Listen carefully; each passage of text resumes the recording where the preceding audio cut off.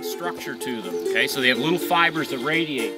You simply can't get an appreciation of real geology from a textbook. Photographs don't do it. What you learn from lecture classroom doesn't do it. You really have to get out and experience it and see it for yourself.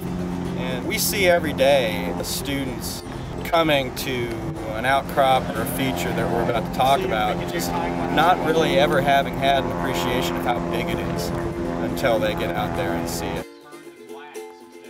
The world is a very complex place geologically. You really can't learn anything unless you get out into the field. You actually see the rocks, you actually see the contacts, and you actually make the correlation in the field itself. And, and that's why I love the field of geology, is that your office is the outdoors. And turbidity currents are capable Every student who's had at least one geology class can gain an incredible amount of insight into what they're seeing and learn a lot more than sitting in a classroom for 14 weeks and students that have taken this field class will be better prepared for some of the advanced classes in the major because they have actually seen the features that will appear as models in their textbook and they'll have a better appreciation for the scale of those features, what they look like, how close the model is to reality, have more experience interpreting in the field, which is what geologists do.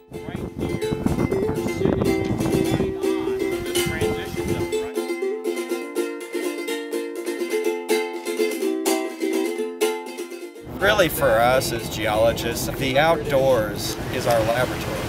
So if you're going to do science, you, you need to have access to a laboratory. For us, this is the laboratory right here. So it's really valuable for us to be able to take students to a place like this and give them some lab experience.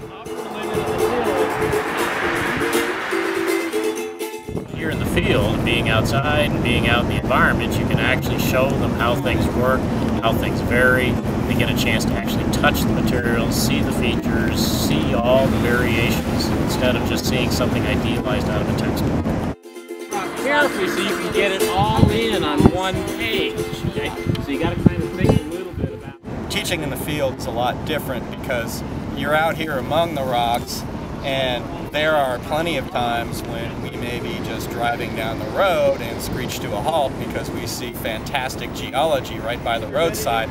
Wasn't planned to stop there, but that happens a lot where we just will park in front of an outcrop and start talking about it because we were fascinated by it. I think that gets students excited because we're excited. We have a blast traveling around looking at rocks that we've never seen before and actually my favorite thing to do is to stop either by myself or with a group of students at an outcrop or a feature that I've never seen before and try and interpret it and try and work help students work through that process of interpreting it as well.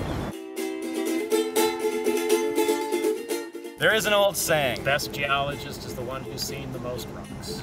He who sees the most rocks wins. Yeah.